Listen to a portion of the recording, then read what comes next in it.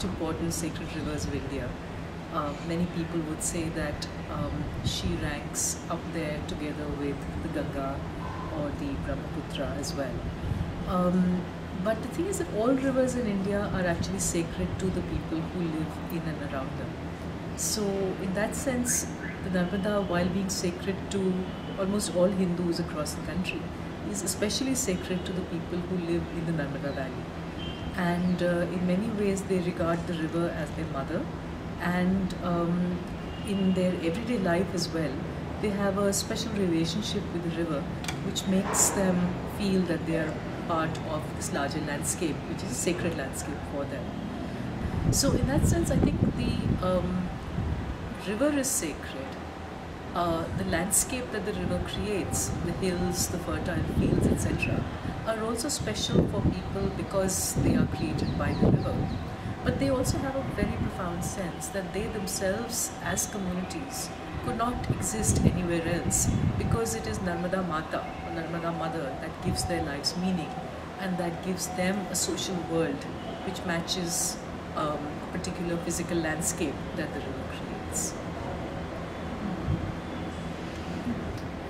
Um, stopping the river is not something which is imaginable at one level for many people. And in fact, when the dams were proposed and the dams were first being built, a lot of people said it, it can't happen, that the river will just get up and break through whatever human beings put in her way. So there was a strong sense that the river would be just too powerful to allow human beings to control her, to constrict her in any way. But I think as the dams have come up, people have realized that you, know, you do have a certain human-made technology that will restrict the river. And um, you know, most religious beliefs tend to be malleable. They change with circumstances. People adapt what they do and what they think in response to how the world around them changes. And so I think people, while still thinking that there will be some repercussions, there'll be some, you know, response from the river at some point to what is being done to her.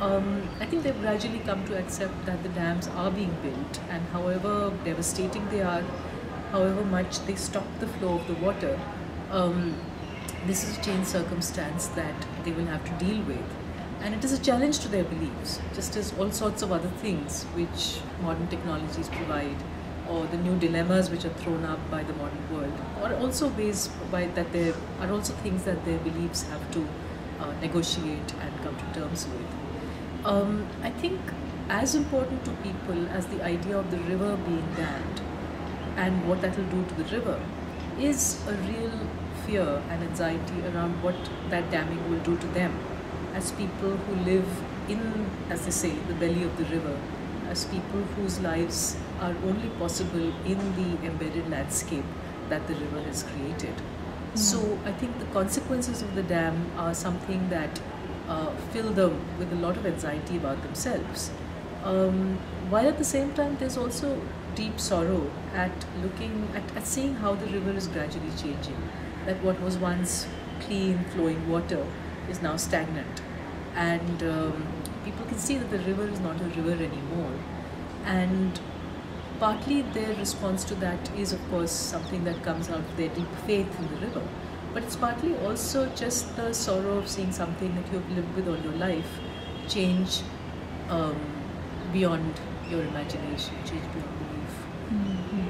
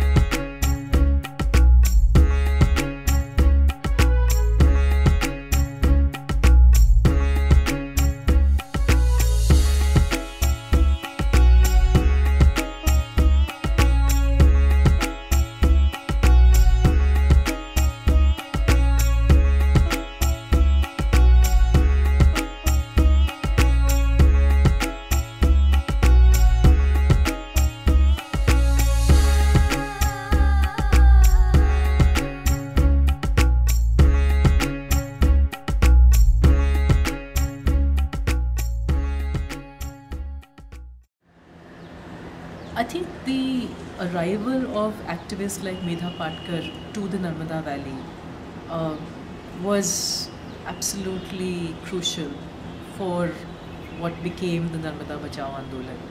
Because even though there had been protests against the building of the dams earlier, in the 1970s there had been protests in the fertile Nimad plains in Madhya Pradesh. Um, they were co-opted by political parties and after the initial protests nothing very much happened and the movements just fell apart. So um, people had felt uh, you know, somewhat uh, disappointed by the way in which the protest didn't lead anywhere, but also they had developed a distrust of political activism. Um, so I think it was the huge um, uh, amount of work that Medha Patkar, that other activists like Arundhati Dhuru, uh, Chitrarupa Palit, etc., did. Uh, working in the villages on, you know, virtually on a night and day sort of basis, uh, convincing people that this was an important cause, that this was a cause where fighting could achieve something, that people needed to come together regardless of their social position, whether they were Adivasis or whether they were Patidar, you know, upper caste farmers, etc.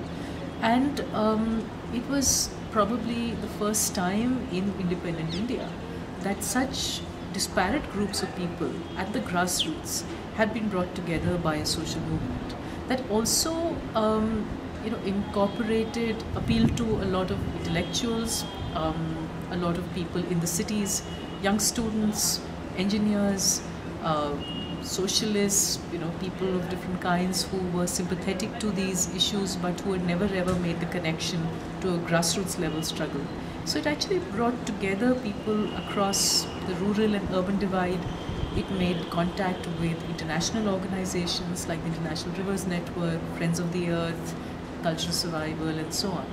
And together, it managed to put together a struggle that was quite remarkable in the kinds of things it was saying. Because unlike the earlier struggle, which was um, only about the issue of compensation, what the Narmada Bachao Andolan did was to say that this is not just about people getting rehabilitation this is about the wisdom of building a dam in the first place. This is about the very model of development that India has been pursuing since independence. And this is about fundamental issues not just of social justice, but also of ecological sustainability. what does it mean to destroy the rivers, the forests, um, which are essential to our long term survival? So, uh, what the movement also did was to show that there was a model of political protest and activism that lay outside of the world of elections and electoral politics, but that was still a powerful, vibrant politics that could appeal to people on a broad scale across the country and internationally, that could uh, draw upon the media, that could um, you know, cut across all kinds of different ideological fronts and make a powerful statement and make people rethink these very fundamental questions of what the country wanted, um, where prosperity lay, uh, what idea of progress and, and development um, we had in mind, and so on. So I think uh, it's it's a remarkable movement which could not only put all of this together for one short, you know, burst like uh, some other movements, but which would actually sustain it for more than 20 years. And um, we know that political protest is something which is very, very hard to do. You face police repression, you're constantly up against the power of the state, and uh, for very poor people who have just for whom even the everyday business of making a living is very hard. Uh, to take time off to organize other people, to attend demonstrations and rallies, to express their protest in other ways is an incredibly costly process. Um, to go on doing this for 20 years is a remarkable, it's a heroic achievement. And this movement was therefore not only able to just mobilize people, but inspire them to do something which was larger than themselves, to feel that they were part of something which was a big issue, which was not just about their own particular experience, but about changing the fate of the country. So, um, in that sense, I think that the Narmada Bachao Andolan really, in some ways, changed how we think of politics in India how we think about development in the country, and how we think about the political agency of the poorest people in expressing themselves on these very big issues. I think from the very beginning, um, resettlement failed to understand what communities are and how they work. So the fact that in most villages, um, communities were very tightly bound by kinship. Everybody was related to everybody else through a patrilineal clan. Um, the fact that this community then worked together, helping each other in terms of um, doing labor intensive tasks, helping each other in terms of lending money, etc. So there were these very tight bonds of reciprocity uh, which, uh, which held the community together, um, as well as um, uh, allowed the community to use their resources, the forest, the fields, the river in a particular way. So there was a relationship with the landscape and there was a relationship within each other as part of the social world that was completely ruptured when people were displaced. So even though people in some cases got individual plots of land, uh, what happened was that the community itself was scattered, often at distances of 100, 120 kilometers away. So there you are on a patch of land in an alien village where you know no one and uh, you can't appeal to them for help. Um, you've lost all your access to the commons because earlier each community had access to uh, an area that where they could graze their cattle, from which they could collect their firewood or fodder or other kinds of things, and um, or where they could even you know cremate their dead. Now, in the new places, people had no access to these communal resources. Most of them had to sell off their livestock.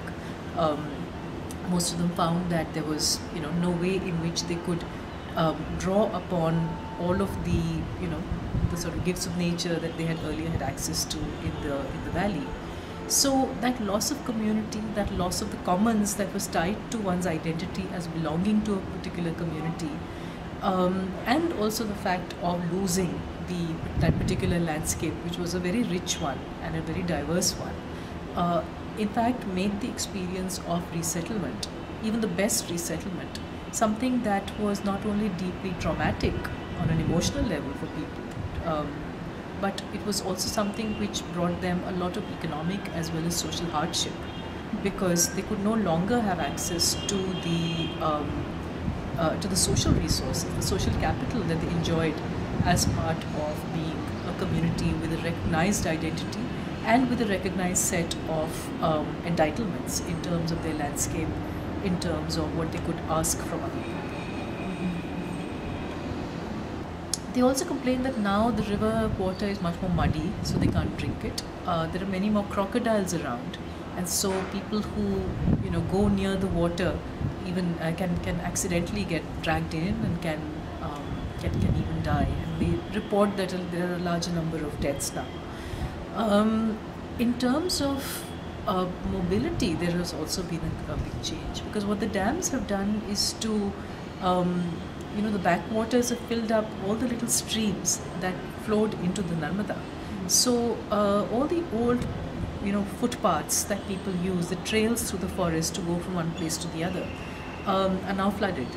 So suddenly villagers who could earlier go off in all these different directions find that they are just marooned. Um, they can't reach, they can't travel to the villages where they might have relatives anymore. Um, the only way they can go from one place to the other is by boat on the river. And that is something which is expensive, you know, something that um, they have to pay money to do. And uh, also the boats don't go everywhere. So there are certain areas which have become much more cut off than was earlier the case. So uh, in all of these ways, people are just sort of you know dealing with the way in which the river has changed, and uh, for those of them who continue to live there, this is an ongoing challenge.